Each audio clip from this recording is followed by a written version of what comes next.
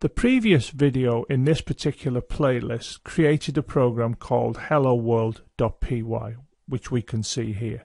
And we can see that the name is shown here helloworld.py and within this particular program we have a message variable to which we assign the string hello world and then we print that message to the screen. And when we do so it'll simply output hello world so we come here to run we come down here to where it says run module or we can press F5 on the keyboard. Now when we press F5 on the keyboard or click onto this particular pull down menu here, the program will run. And when it will run, it will do precisely what we expect. It'll do this. It'll produce the output hello world. If we have a look at the string here, we can see that they're in double quotes. And that's one of the ways in which we can produce a string within Python code. However, there is another way. What we can do, we can actually write it out as shown here or type it in here. And you can see I've put a single quote there. Now when you put single quotes and then run the program, what will happen is exactly what happened last time. We will get the output hello world. Now you have a choice as to which particular approach you take, either using the single quotes or the double quotes. People tend to use the single quotes as you see here.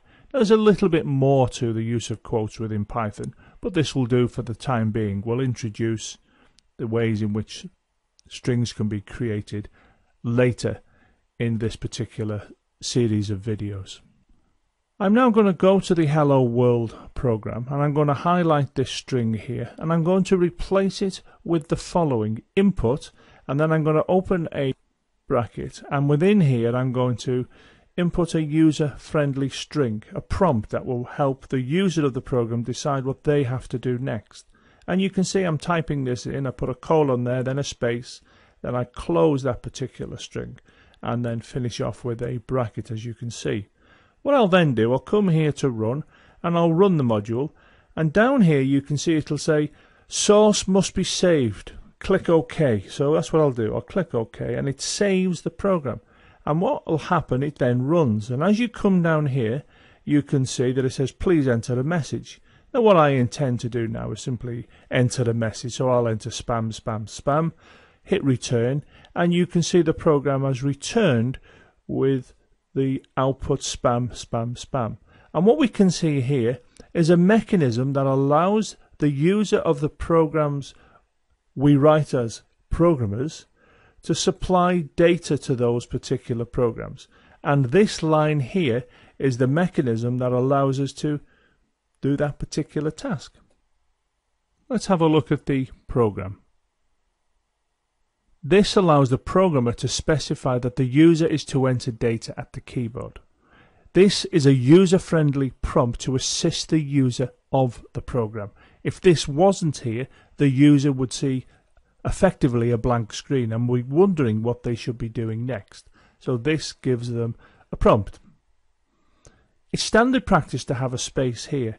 If we didn't have a space here in the user-friendly prompt, then whatever the user entered would be rammed right up against the user-friendly prompt. Now whatever the user entered is stored in this variable here called message, which I like to show as a box that's called message.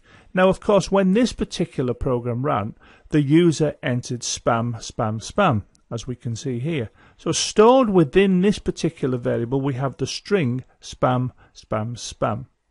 Now, what will happen now is this particular line will execute print message. And of course, message stores spam, spam, spam. Now, when the program runs, the contents of that message will be displayed on the screen as we can see here.